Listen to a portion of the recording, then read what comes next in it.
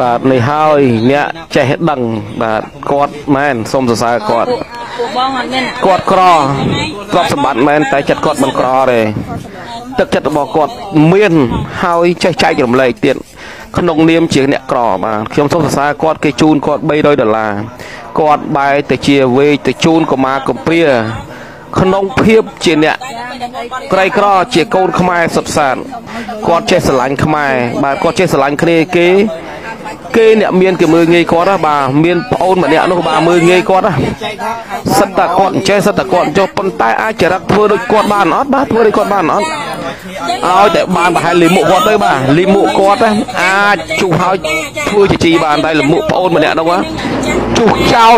តែស្អីក៏គ្មានទៅហូបដែរព្រោះគាត់ស្អុយជាងលីមុខទៀតឈប់លើកមនុស្សស្គួតអួតមនុស្សភ្លើចង់ល្បីហួសហេតុពេកហើយ បងឯងគិតថាបងឯងធ្វើយ៉ាងនេះបងឯងនឹងបានល្បីនឹងបានគេស្គាល់បងឯងច្រើនហើយបងឯងចង់បានបេះដូងនឹង like ជា share ច្រើន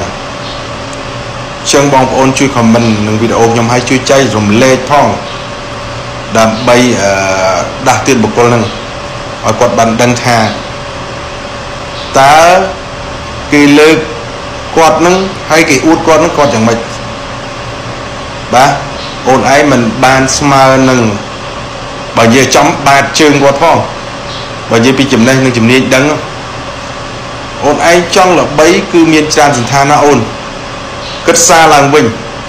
ហើយជួយ share វីដេអូនេះផងបងប្អូនបាទអរគុណច្រើនដើម្បីឲ្យដល់បងប្អូនប្រុសម្នាក់ហ្នឹង